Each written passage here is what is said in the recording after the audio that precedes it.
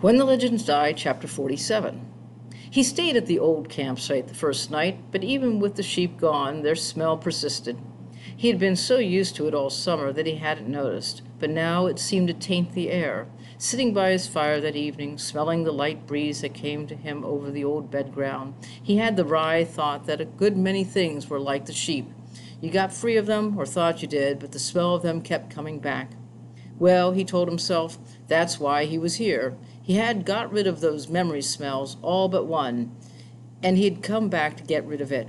He had put off his return to the arena for a week or two just to get this done, to wipe the slate clean. He was going to run that bear down, and if it was a grizzly, he was going to kill it. He drank the last, of co- last cup of coffee, ignored the sheep smell, rolled up in his blanket, and slept soundly.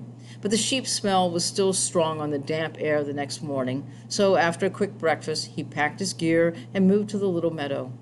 He had seen a seep spring there a few days ago, enough water for a one man camp.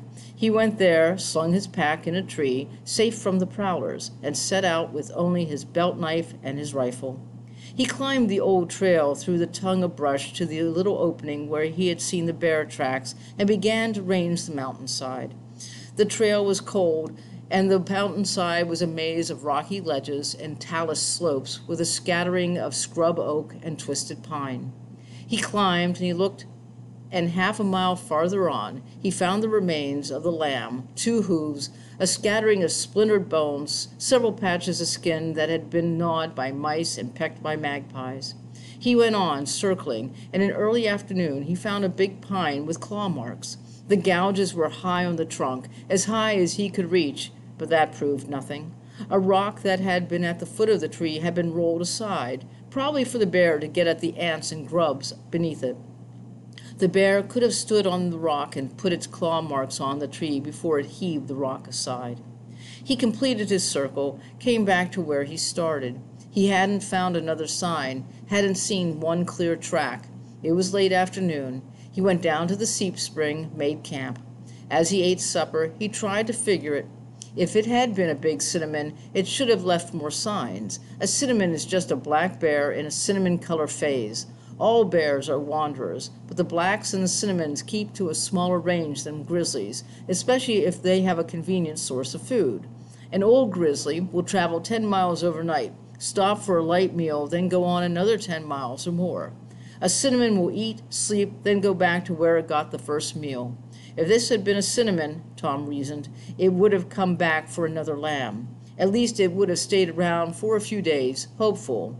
If it was a grizzly, it probably would travel until it made a big kill, such as a deer.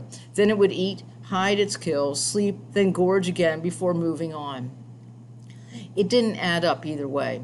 Tom had kept telling himself he had seen a grizzly, but he had only two brief looks first when the bear killed the lamb, then when it turned and threatened to charge him at the little clearing.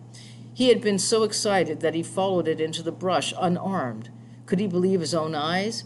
He had found that one track, but couldn't he have exaggerated its size? Woodward said, and his men agreed, that the last grizzly had been killed four years ago. Woodward could be wrong, of course. There might still be a grizzly around, a wise old bear that had outwitted them all. But the chances that it was the cub Tom had known were less than one in a hundred. A grizzly cub doesn't reach full growth till it is six or seven years old, and there would be hazards all along the way, special hazards for a cub that had once been a pet. Some grizzlies live to be 30, maybe even more, but even if that cub lived to grow up, its chances of survival this long were slim, with persistent hunters and bear hating ranchmen. All the odds said that the bear Tom saw kill a lamb was a big cinnamon. But he had come back to run that bear down, identify it if possible, and put an end to that last nagging hurt. This hunt had only begun. He finished his meal, cleaned his utensils, and slept. The next morning, he went halfway up the mountainside, made a big circle. Late in the day, down near the river, not far from the forks, he found a patch of pines that had been taken down a few years before by a rock slide. Poking around in the tangle, he found where a bear had rolled two rotting logs aside to get at the beetles, then had dug out a den of marmots or chipmunks. It must have been a big bear to have moved those big logs. It had been there several days before, and the tracks it had left were all smudged. He went up West Fork a little way and found a rotten stump that had been ripped apart, more of the bear's work, but again there were no recognizable tracks.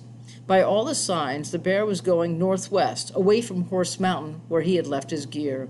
He was two hours from his camp, and as he worked his way wearily back up Horse Mountain, he decided if he didn't want to spend half his time coming and going, he'd better move. Then he thought that if he was going he was doing this the old way, he would forget about camp, just take his rifle and his knife and maybe a small packet of food and stay with the trail till he caught up with the bear, sleeping wherever night found him and, he thought with a bitter laugh, sing the bear chant.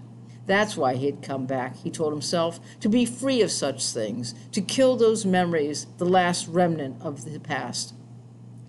The next morning, he packed his gear and took it down to the forks, went up West Fork a little way, and set up a new camp beside the stream. That afternoon, he worked on up the creek and found where the bear had dug quamash, camas roots, in a grassing, grassy opening.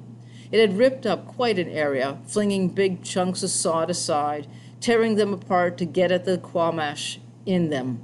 It had only been there only two days ago, three at most. He spent two more days working the lower end of the West Fork, but all he found was another place upstream where the bear had dug quamash. The second afternoon, a chill wind blew up and the sky clouded over, and when the rain began that evening, he remembered several signs of bad weather coming that he had ignored. The rain was cold, probably was falling as snow on the peaks.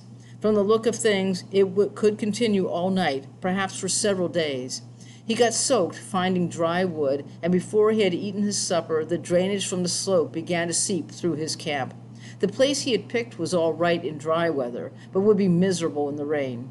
He moved up the hillside to the partial shelter of a clump of spruces, rigged an inadequate roof with his small tarp, finally got a new fire going in front of it, rolled up in his damp blanket, spent a cold, uncomfortable night. He wakened to a gray, chilly, rainy day and got soaked looking for a standing dead tree with dry wood. With the fire going at last, he cooked breakfast and tried to dry his blanket, but the gusty wind whipped the fire and blew rain into his shelter. He spent a miserable day feeding the fire and trying to dry his gear, and trying to make sense of what he was doing. He had been here a week on this bear hunt, and as far as he could see, he was no closer to the bear than when he started.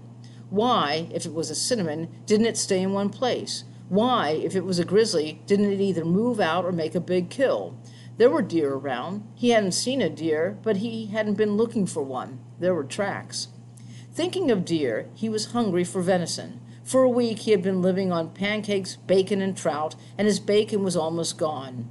Thinking of the soggy, half cooked pancakes he had eaten today, his mouth watered at the very thought of venison. He told himself he would take a deer tomorrow if it had stopped raining butcher out a loin, and live high for the few days he would be here. One loin, that's all he needed. Then something deep inside said it wasn't right to waste meat. It wasn't even right to take meat unless you needed it. Waste meat, and what you take to use will soon begin to stink. He shook his head angrily at the thought. Superstition. Who was he anyway? A clout Indian? He felt the chill of water trickling under him and moved to a drier place and put more wood on the fire, wet wood that smoldered and smoked. No, he decided wryly, he wasn't a Cloud Indian, or he would have picked a better campsite when he had had the chance, and seen to it that he had plenty of dry wood. And watched the weather signs, instead of squatting on a creek bank with bad weather coming, like a fool on his first camping trip. All right, so you made a mistake, another mistake. His first mistake was in coming back here instead of going to Albuquerque. Why had he come back anyway? Because he saw a bear and he thought that he thought was a grizzly and got the idea he had to kill it? Why? Because he was Killer Tom Black and wanted to forget he was an Indian. That's why. He laughed at that, a snorting laugh of derision. Killer Tom Black, the Indian who was a devil killer, was just newspaper stuff, publicity. All right, so you killed a horse or two. So he had a grudge, a lot of gravel in his craw, as Doc Ferguson put it, and he took it out on the broncs. He made a reputation, he lived up to it, gave the crowds what they wanted. That was all over now, over and past. He'd got that out of his system. Now he was going to go back and ride for points, for money, and wind up his career in a few more seasons with a record they would be shooting at for a long time to come.